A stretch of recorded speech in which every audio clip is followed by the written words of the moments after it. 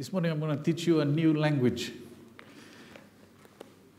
I'd like you to repeat after me Sapato. Sapato. Faster. Sapato. Lele.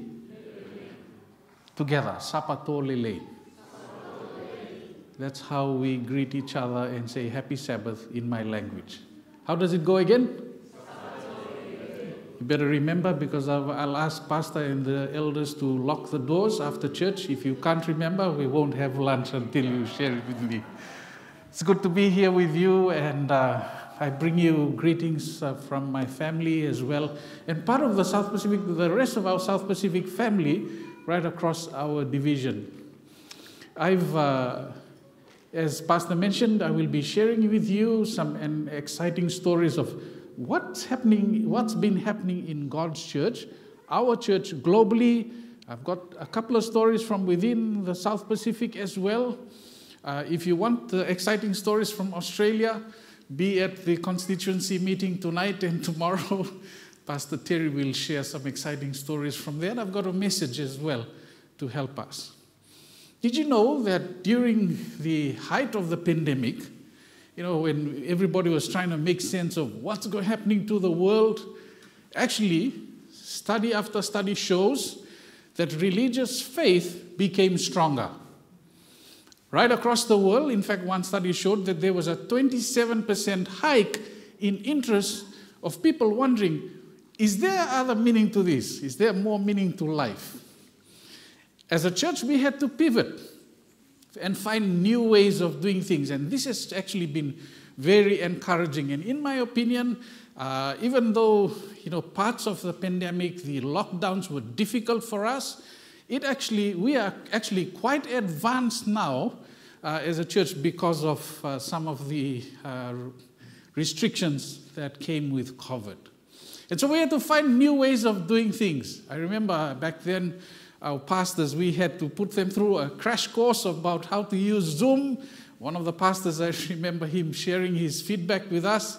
He pastored some of the churches back in uh, Christchurch, and he said he got everybody up on Zoom, and he had to spend about half an hour trying to tell people how to just mute their microphones. Everybody was so excited to see each other and greeting each other. And if you're looking after 200 odd members, it might take you a while to actually get started.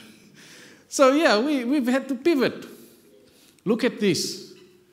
With online searches, there's a huge hike in interest of people checking out what's happening online.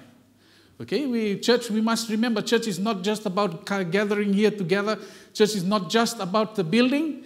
There are other platforms where we can actually engage people and uh, connect with them um, Adventist World Radio ran a series calling, called Unlocking Bible Prophecy. Five million viewers in some parts of the world. And in the Philippines alone, 10,000 people were added to God's church. Amen? In Tanzania, they ran a uh, three week evangelistic satellite program. They had 30,000 baptisms. The, uh, across the world, we actually added close to 2,000 new churches during the pandemic. Can I hear an amen? I wanted to share this with us today because, you know, sometimes we can feel a bit discouraged with what's going on. But actually, there's been a lot of amazing things where we as a church, when we reflect upon, we can't help but just conclude that God is in charge of His church and amazing, th- amazing things are happening.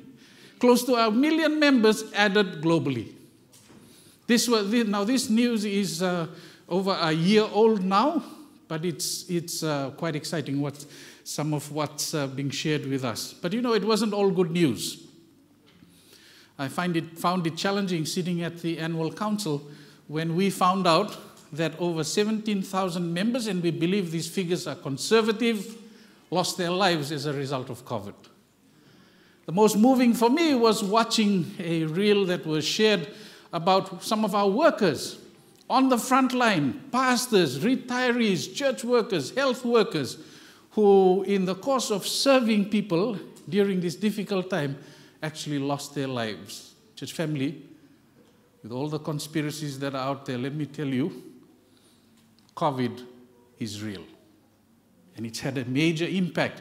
And it was quite staggering for me, you know, as they shared images and portraits of people, selected people globally who had lost their lives, their names, their picture, their designation, their years of service. Some of them were still very young. But you know, I, I thank the guy who came up and uh, did an appeal for ADRA. Sometimes we wonder where our offerings go. Check this out. Between 2018, 2019 and 2020, more than $650 million was expanded for ADRA activities around the world. You and I are not part of some congregational church where this is all we, you know, this is all we know. No, no, we are part of a global church. And I have to add here that we know that uh, there's uh, significant funds there that's not all ours, that partner other governments and NGOs partner with us as well.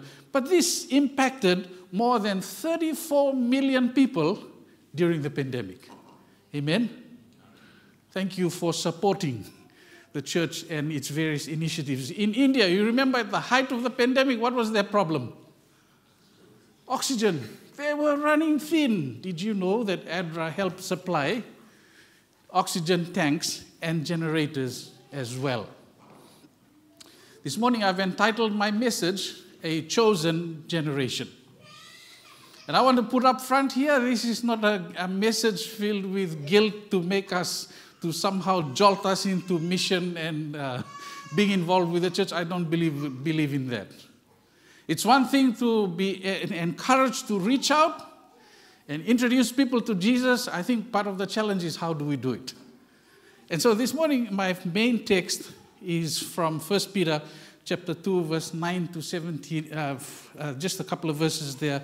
I'm going to ask you if you can please read the text on the screen and participate with me this morning. Let's read together.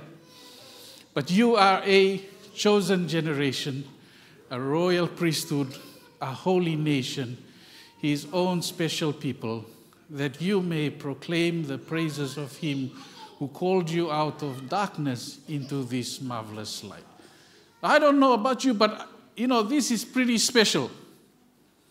The fact that we are God's chosen people, we are special in his eyes. Turn to the person next to you and tell them that they are special. Do we actually believe it? So special that God Himself came and died so that we can have life. And I like the part where it talks about, and as a result of what our living relationship with Him, part of what we do as a result of a walking, loving relationship with Jesus is that we proclaim, we tell the story, we can't help but share what's happening in our lives with people around us. So, my message this morning, I'll be focusing on the testimony of David. Why did I choose David? Because David is a colorful character and he sometimes reminds me of myself. And also, I, have, I will also bring us some, uh, some of the how when we reflect on the life of Paul, who was writing to young Timothy, gave, gave him just some tips. Now, this is not an exhaustive uh, um, discussion today about how we can be a chosen generation, but just some selected uh, principles and, and um, points that you and I can take away. The first one is this Can you remember the time when David sinned? When we think of the, the King David, what thoughts come to mind? What pictures? Very quickly. Talk to me. Bathsheba. Wow. Straight to Bathsheba. Yes. What happened? Was David in the right place? Uh, he was supposed to be at war. And then he went searching where he shouldn't have been. And, you know, I had an uncle who told me, and his son, who's a pastor as well back home, he said, You know, when theology and biology meet, son, what do you think happens? This is not in the, the this is not in the testimony, it's not in the spirit of prophecy, it's not in. What happens when theology and biology meet? He said, Biology always wins. Don't fool around, my son. David fell. And then he tried to cover up his sin by what? Committing many other sins, including the death of somebody, eh, of other people. Do you think the whole of the, the, the town knew about this? You know, sin is something that we can't hide. Uh, by the way, that does not mean that we should be out digging up what so and so has done. No, stay away. Just focus on what we've done. Okay, life for each of us alone is difficult as it is. So he messes up big time. The whole world knows about it. Everybody, tell a man and tell a woman's going hot. And then look at his prayer. I love his prayer. Let's read together. His expression. I think we can pick a picture of God here. Let's read. Have mercy on me, O God, according to your unfailing love, according to your great compassion. Blot out my transgressions, wash away all my iniquity, and cleanse me from my sin. For I know my sin is always before me Create in me a pure heart, O God, and renew a steadfast spirit within me. What picture of God do you have this morning? What do you think worship was like in the Garden of Eden? Yes, it would have been beautiful. Very different from the worship we have today. And I think I, I can't wait for when we get to heaven. I think Adam and Eve just loved it when God was there present with them in person would have been amazing. And the picture that we have of God can affect us eternally. Just family, please get this right. I love what he shares. And we know that David was somebody who walked with God. Yes, he messed up big time, but God himself shares through his servant in the book of Hebrews that David was a man after his own heart. And if God says it, the rest of us can can zip this one and just let God be God. That gives you and I hope. But look at the pictures that he shares with us. He says that he is a, what are some of the attributes we see there? That God is? It's right there on the screen. Merciful, thank you. Unfailing in love. I've got grown up children, as I showed you earlier. And, you know, by and large, my children are really good children. I thank God for them. And I have a beautiful wife as well. But you know what? Sometimes we test each other. I cannot say to you that my love for my children is unfailing. I'm limited. But our God's love to us, I cannot fully explain. It's unfailing. He's great and, and compassionate. We can't understand, we can't fully explain the love of God. Even when we get to heaven, we'll be learning about this for the rest of eternity. What picture of God do we have? It affects the way we also live our life here in this world. And then I like the second part. He knows he's messed up. He's thankful that God has forgiven him, and then he says, Create in me a new heart, O Lord, signifying two important points, church family. Number one, we believe in justification.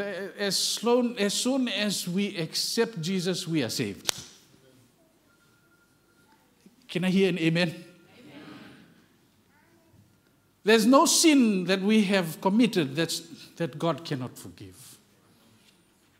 Irrespective of what our past has been like, if it was like David, worse than David, when we come to Jesus, He does forgive us. And the thing that I love about him as well is he doesn't just leave us there. He doesn't just say, okay, I've wiped out the past, I'm giving you a chance, and I'm standing here with a stick. I'm going to be walking right behind you just to watch when you fall so that I can give you a whooping. David tells us, create in me a new heart. God gives us the Holy Spirit to enable us in our walk. That's amazing. He doesn't just leave us on our own. And there are things that you and I can never believe that we can ever do, but by the grace of God and the empowerment of the Holy Spirit, we can live a life where people look back and say, What's happened to you?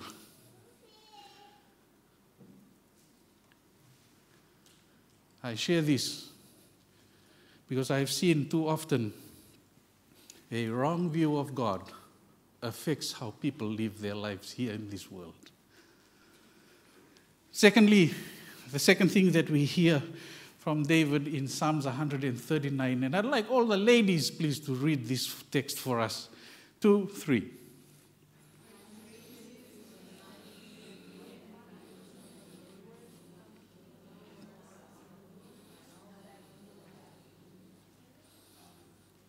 Once in, at Fulton, Fulton College, a young man, there was this young lady that he really admired. But he didn't have the courage or the know how as to how to approach this young lady. They had a week of prayer. And on a particular day, he, was, he came and sat. They were friends, but he just couldn't just didn't know how to tell her that she was fearfully and wonderfully made, you know. And then the preacher says, Turn to the person next to you and tell them that Jesus loves you. And then he had, I'm not sure what type of inspiration, but he thought, This is my chance. And he turns over to the girl, and the young boys who are here, I'm not telling you how to do it says to her, Jesus loves you, but I love you more.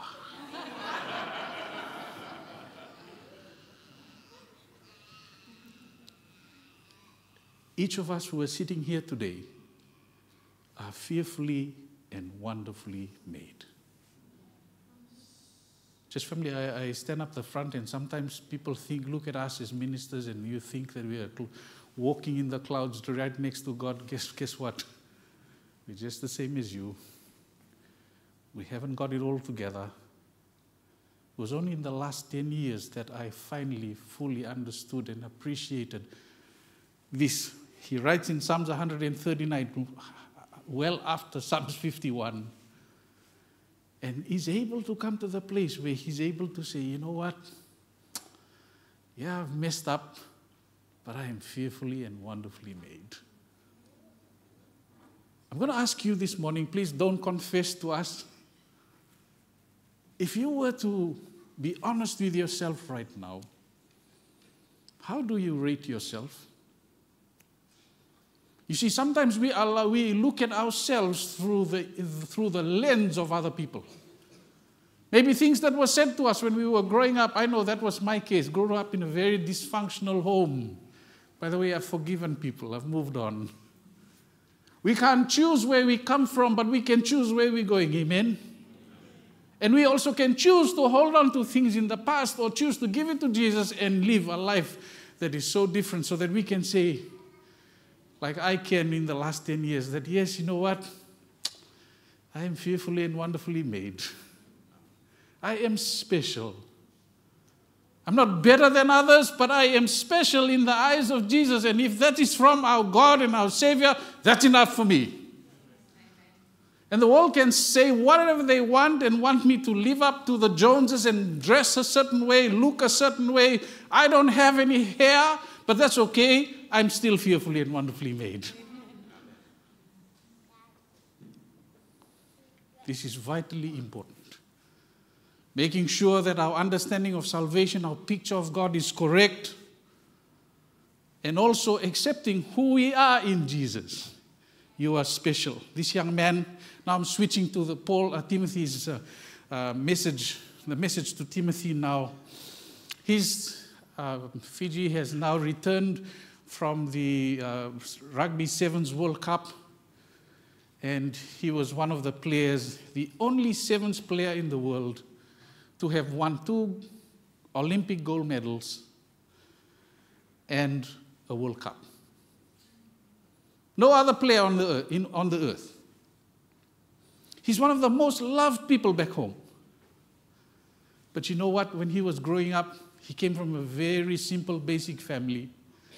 And as he was growing up, you know, he, he came home and he realized that there were certain things that he was not good at. And then he told his parents, who were struggling just to put food on the table, I believe he, he wanted to be a rugby player. You know what the parents did?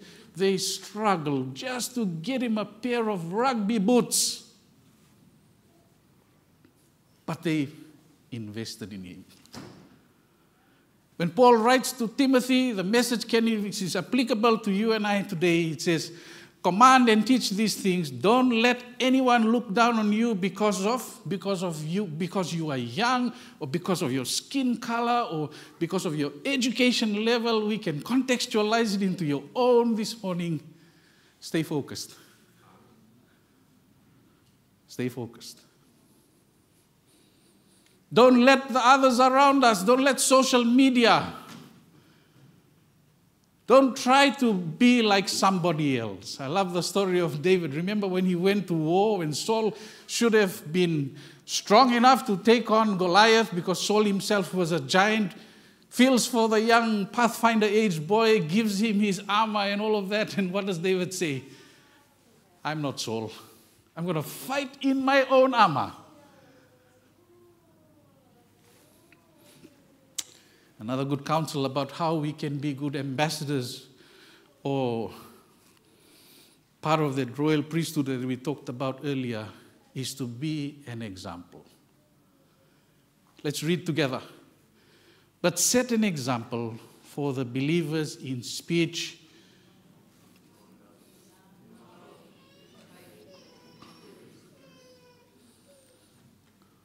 Let your actions do the talking. The most powerful sermons that we can preach is not that we know all of the information here back to front. It's not that we can recite the 2,300 day prophecy back to front. It's not about the amount of argumentative points that we can prove that the seventh day is the, actually the true Sabbath. Our five major teachings as Adventists. It's not about all of those things. The most powerful message that we can ever preach is to live the life. So that when people look at us, there is something different about you. Recently, a uh, person that I have huge respect for, passed away. Massive funeral. It was also put online. So many people. And I've attended many meetings since then where people have taken out time to acknowledge this person who lived this type of life. Sometimes we are too fast to try and, you know, convert people with, with our teachings. And please, I'm, I'm not going against our teaching. I love the Adventist message. I didn't grow up as an Adventist. I became an Adventist because of the, the, not only the messages that made sense to me, they're biblically sound.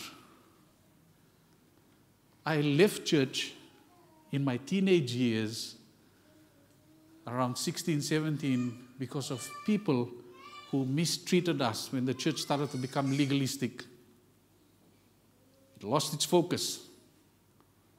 Many of us left church, but I came back because of godly people who I met who continued to live the life and, and be Christ like in the way they treated us. Amen? You see, information is just here. Those are just the facts. But how we treat people helps the information to move from here to here. Be an example. It's no point keeping the Sabbath and during the week, the people around us, we're just the same. But may we be the people when this whole world seems to be falling apart, they turn and they see, they look at us and say, What is it about you that you, you, you, you're at peace? I know that your family is struggling, but I still hear you people singing and you know, you people are happy and content. The fruits of the Spirit is the things they see in us. That's contagious. Today, on social media, they have uh, what they call influencers. And some of these people, it's quite an interesting life that they live. They have millions of followers around the world. As the international borders started to open, Fiji uh, uh, um, partnered with some of them. They went to Fiji, and you know, that was to help influence tourism. But, church family, I want us to be genuine influences. We don't have to have a social media account, and uh, it's not about how many likes we have or how many followers we have. It's not about how many friends we have on, on social media. It's not about all those things. We each can be an influencer within the circle of influence that God has blessed you to be part of. And here he says, Watch your life and doctrine closely. Let's read together. Watch your life and doctrine closely. Persevere in them, because if you do so, you will save both yourself and your hearers. What is he saying here? He's saying here that if what we talk about, what we espouse, it must be in sync with the way we live our lives.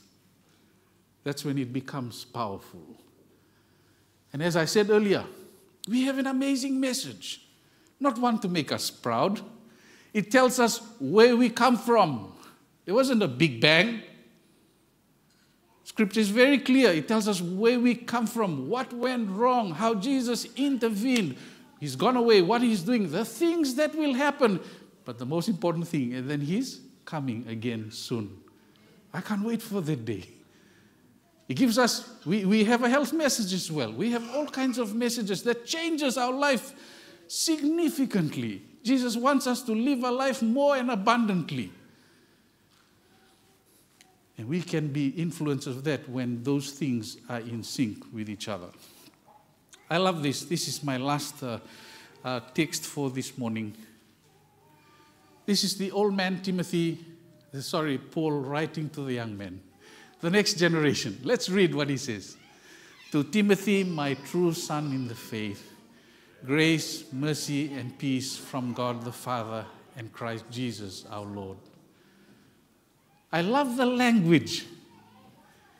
He says, Timothy, my true son.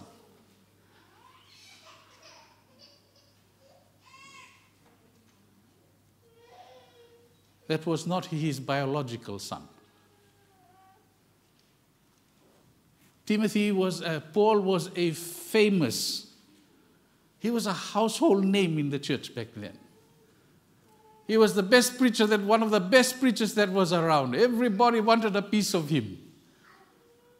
But he took time to invest in other people as well. Church, church family, I thank God that as I look around today, I see we have children and we have young people.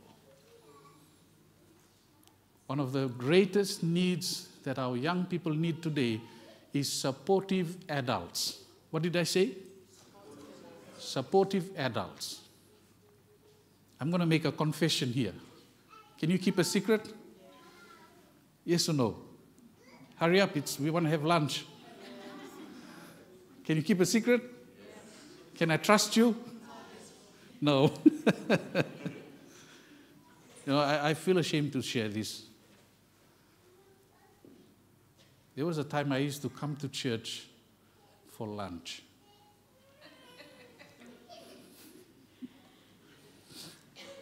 Why do you think I came to church for lunch?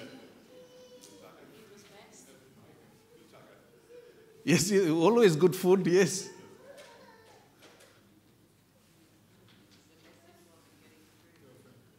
Pardon? Yeah, the, the, yes, the, the food was getting through for sure.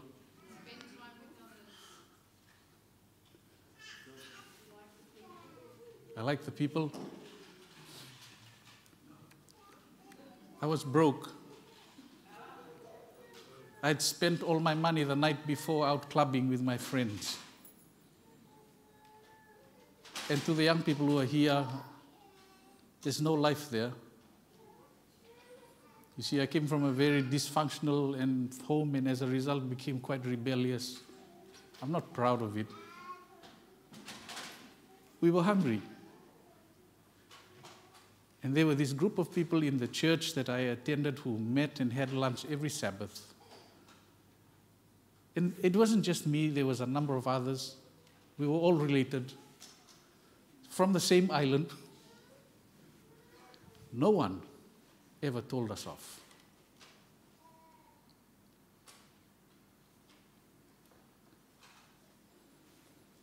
I thank God for people who are Christ like in the way they live their lives. Now, that was more than 30 years ago. But you know what? In this world that we now live in, for some of you who have been around for a while, uh, getting close to retirement or are retired, when you went to school back in the day,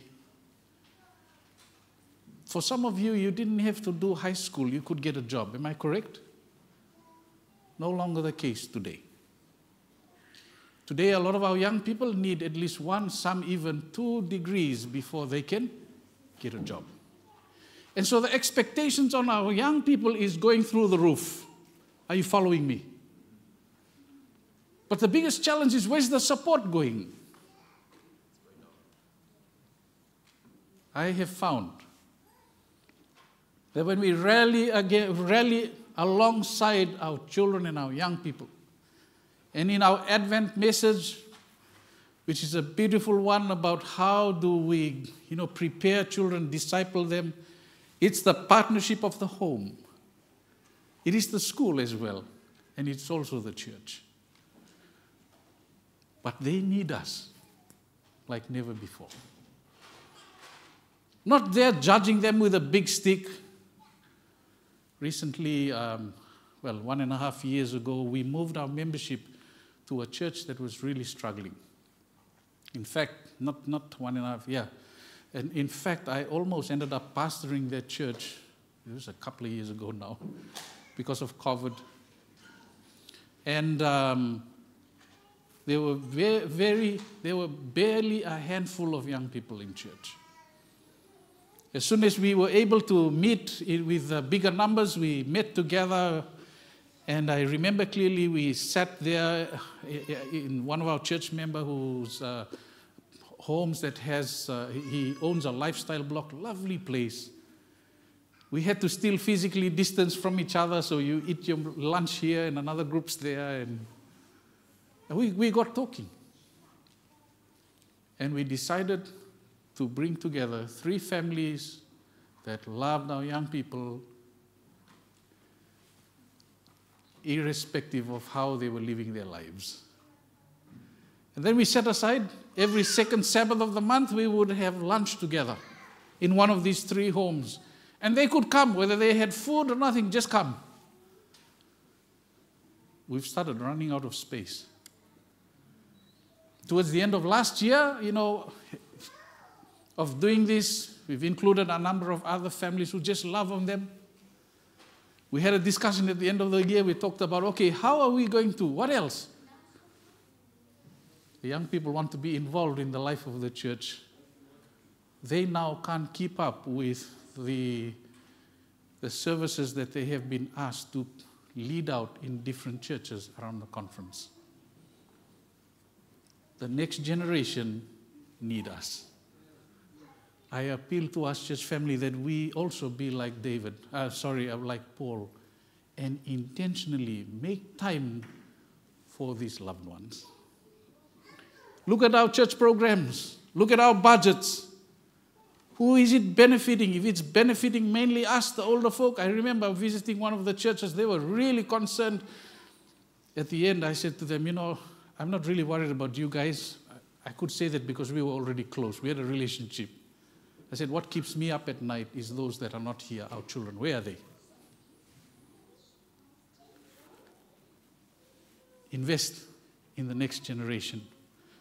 Just coming to our, our no, I better close. Bring us back to our main text again that you are a chosen generation, a royal priesthood, a holy nation his own special people, that you may proclaim the praises of him who called you out of darkness into this marvelous light.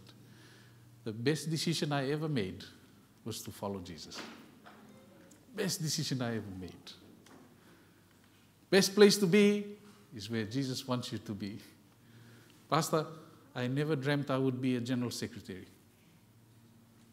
Honestly speaking, I showed you a picture of home. If I had things my way, I'd be back home, still looking after my local church in my little tiny island. Best decision is to follow Jesus wholeheartedly. And it's the best place to be is where Jesus wants us to be. And you know, we don't have to make a grand appearance. We don't have to spend thousands of dollars.